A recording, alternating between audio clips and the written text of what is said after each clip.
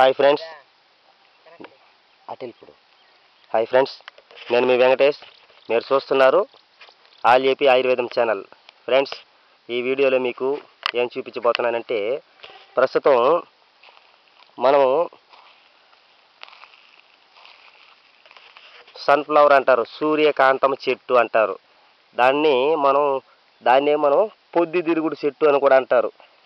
పొద్దు తిరుగుడు చెట్టు అని కూడా అంటారు. దాంట్లో ఉండే పూలు మనం పొద్దు అంటే సూర్య భగవానుడు ఎట్లయితే పోతూ తిరుగుతూ ఉంటాడో ఏ వైపు అయితే ఉంటాడో ఆ వైపుకి ఆ పూలు కూడా ఆ చెట్టు కూడా తిరుగుతూ ఉంటుంది ఆ విధంగా చెప్పుకుంటూ పోతే దాంట్లో మనం ఆ యొక్క పొద్దు తిరుగుడు చెట్టులోని పూలు లోపల గింజలు అనేటివి ఉంటాయి. ఆ గింజల్ని మనం వేయించుకొని తినచ్చు.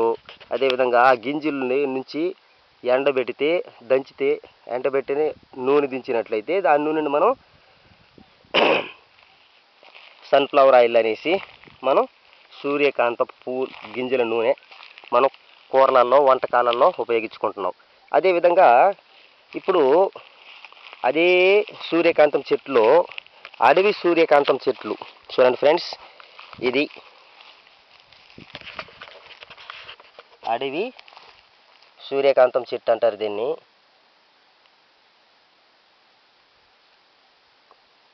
దీ దీంట్లో అడవి చంద్రకాంతం అడవి సూర్యకాంతం అని రెండు మూడు రకాల చెట్లు ఉన్నాయి. ఈ యొక్క చెట్లని మనం ఈ యొక్క చెట్లు సమూలంగా తీసుకోవాలి. సమూలంగా మంచి తిథులలో తీసుకోవాలి. తీసుకునేసి దీన్ని బాగా దంచి దంచి పసురు పిండుకునేసి ఆ పసురుని మనం రసావాదములో రసావాదములో మనం నేను ఇదివరకు పెట్టిన వీడియోలలో కొన్ని రకాల పాదరస కట్టు గురించి ఇంగిలిక కట్టు గురించి చెప్పుకొచ్చినాను. మనం పాదరస కట్టుకు కానీ ఇంగిలిక కట్టుకు కానీ మనం ఈ యొక్క పసురుని ఉపయోగించి సింపుల్గా మనం బంగారం కూడా తయారు చేసుకోవచ్చు. అది ఎలాగంటే మనం ఇంగిలిక కట్టు కట్టిన తర్వాత నేను ఇదివరకు చెప్పినాను ఈ విధంగా కట్టు కడితే ఇంగిలికం శుద్ధి అందులో ఉండే గంధకం అనేది లైట్గా ఎగిరిపోతుంది మిగిలిన పాదరసం అనేది నిలుస్తుంది. ఆ పాదరసం కూడా మట్టిలాగా ఉంటుంది. దాన్ని నైట్రిక్ యాసిడ్లో వేసుకోవాలి అన్నాను. ఆ నైట్రిక్ యాసిడ్లో వేసేదానికి ముందు ఈ యొక్క పసురులో బాగా నూరుకోవాలి.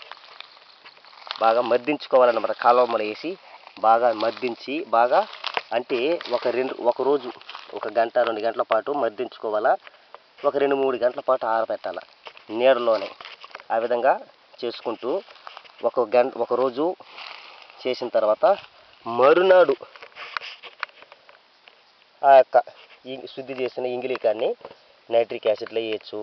లేకుండా కూడా డైరెక్ట్ కూడా మనం రాగిని కరగబెట్టి దాంతోపాటు కొన్ని రక కొన్ని నేను ఇదివరకు చెప్పినటువంటి బంగారం శుద్ధి చేసి దాన్ని మట్టి రూపంలో చేర్చుకున్న తర్వాత ఆ మట్టిని ఈ యొక్క ఇంగిలీకం శుద్ధి చేసినటువంటి ఇంగిలీకాన్ని అదేవిధంగా రాగిని కరగబెడితే మనకు మనకు కావలసిన అంటే పాతకాలం రాజుల కాలం నాటి బంగారాన్ని కూడా మనం అక్కడ చూసుకోవచ్చు. ఓకే ఫ్రెండ్స్ ఈ విధంగా ఈ యొక్క అడవి సూర్యకాంతం చెట్టుతో కొన్ని రకాల రసావాదంలో ఉపయోగించి కొన్ని రకాల ఉపయోగాలు పొందొచ్చు అనేసి కొంతమందికి తెలిసి ఉండొచ్చు కొంతమందికి తెలిసి ఉండకపోవచ్చు దీంట్లో ఎలుక సేవాకు అని కూడా అంటారు. ఎలుక సేవాకు అనేది ఉంది. ఆ ఎలుక సేవాకుతోనూ ఉపయోగించవచ్చు రెడ్డి వారి నానబాలు చెట్టుతోనూ ఉపయోగించి మనం బంగారాన్ని కానీ వెండి కానీ తయారు చేయొచ్చు. అదేవిధంగా మనం ఈ యొక్క సూర్యకాంతం చెట్టు గింజలు అంటే సూర్య సూర్యకాంతం చెట్టు ఉంది కదా మామూలుగా మనం చూసేది. అందులోని గింజల నూనెతో కూడా మనం బంగారాన్ని తయారు చేయొచ్చు.